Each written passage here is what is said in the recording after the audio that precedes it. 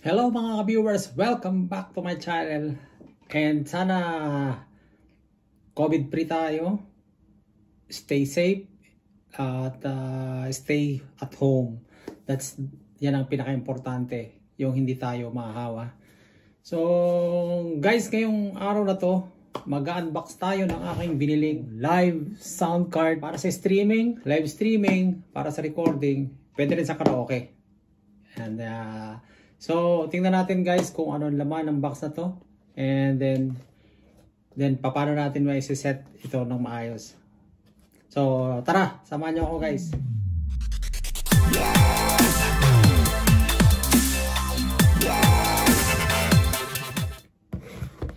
Ayan mga viewers, uh, binili ko to online. So, last November, last year.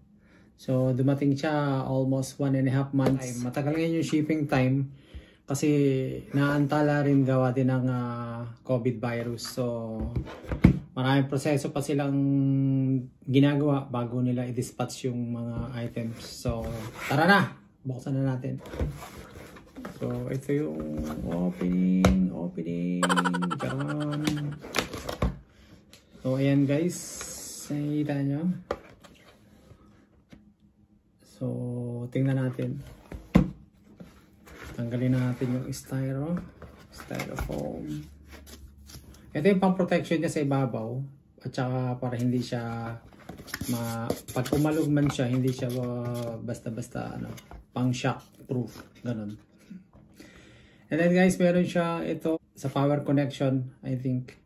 So, and ito guys ay uh, para sa line 1, line 2 maybe. So, jack. And then sa USB. So, dalawa. Dalawa rin yung kanyang ganitong pang line 1, line 2 na connection. Then sa cellphone, sa recording, and then sa uh, sound video na i-record ninyo. So, kung dalawang cellphone, ito guys ang gagamitin. So, tingnan natin ito. Ito siya, meron din siyang box pa. May styro rin siya para yung pinaka-shock proof nga niya. Tanggalin na natin. Ching! Ching! Tapo na. yung live sound card. So, ito yung mga knob. Ito yung mic. Mic adjustment. Then, ito yung sa echo. Echo adjustment. So, ito naman guys yung power supply. Then, uh, ito yung mga adjustment para sa 3 ball at sa bass. And then, ito yung, itong middle, recording adjustment. Siyang adjust, pwede mo siyang pa, yung sounds na magpupunta sa recording mo, pwede mo siyang pahinain at pwede mo siyang palakasin dito. So, ito naman sa kabila, ito naman, backing track. So, ibig sabihin yung sounds habang nagsasalita ka, Pwede mo siyang pahinahin, pwede mo rin siyang palakasin. Then ito, sa monitor para marinig mo yung kung ano yung sounds na lumalabas galing sa uh, recording input mo. So, lalabas yan sa headset at mapapakinggan mo doon. Ayan guys, tingnan naman natin yung mga connection. Ito, yung sa microphone, yung normal na microphone. And then, ito naman yung sa condenser mic ito yung sa condenser mic. Ayan. Ito guys, yung sa headphone. Then, ito yung sa headset. Kung headset ang gamit mo, dito ka magsasaksak. Kung headphone, dito ang dito mo siya i-connect.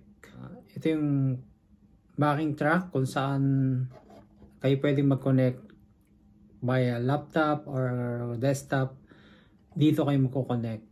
So, ito line 1, line 2, yung connection pag line 1, ito yung sa recording video mo. Ito yung sa isang cellphone mo. Ayan.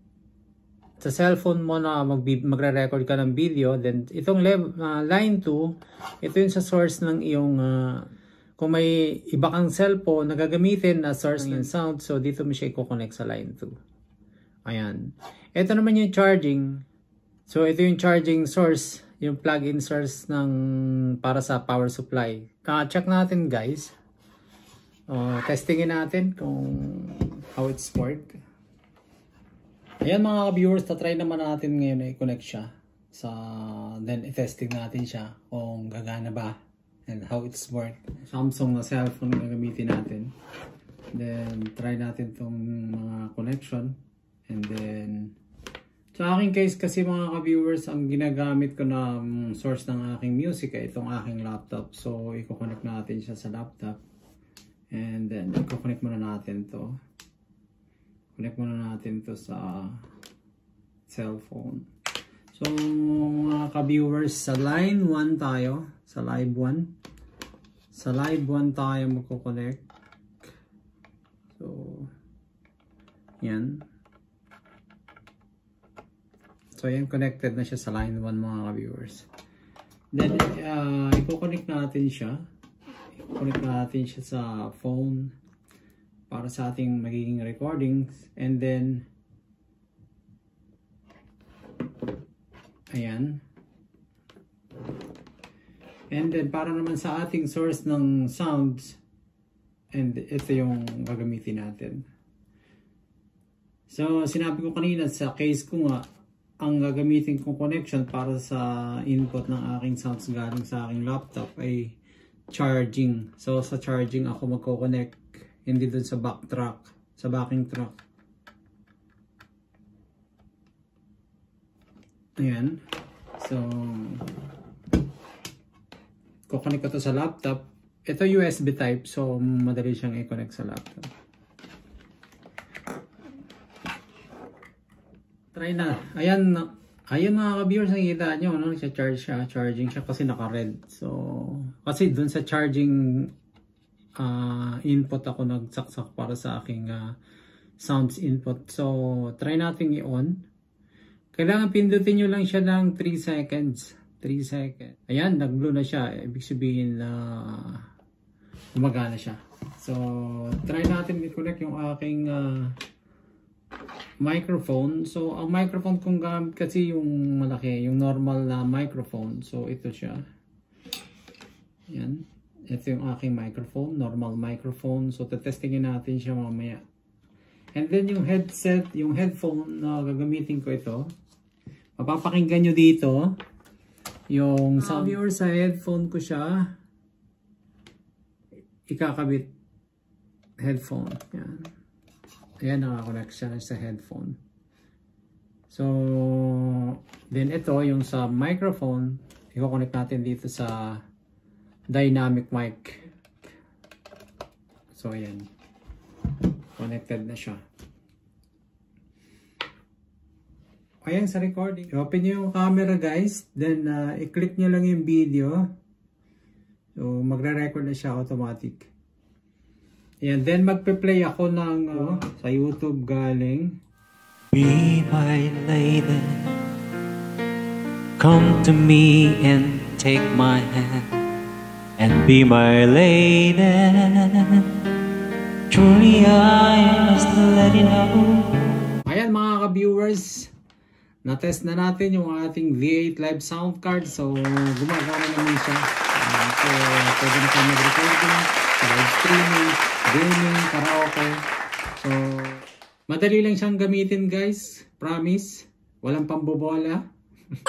And then, uh, talagang affordable naman yung price. So, kuha na kayo, bili na kayo para sa inyong live streaming, para sa inyong uh, YouTube uh, videos and karaoke. Pwede pwede siya. Thumbs up ako doon. So, ayan guys, salamat. Bisita ulit sa akin channel. Sa mga hindi pa po nagsusubscribe sa akin YouTube channel, just click the subscribe button, the notification bell down here para ma-notify po kayo sa susunod ko pang mga video. Ayan, keep safe mga ka-viewers and enjoy the day. No worries, dapat no stress. So, focus palagi tayo sa ating direction ng buhay. And uh, wag natin kalimutan mag-pray. Yun lang mga ka-viewers. Maraming salamat. Until next video. Salamat.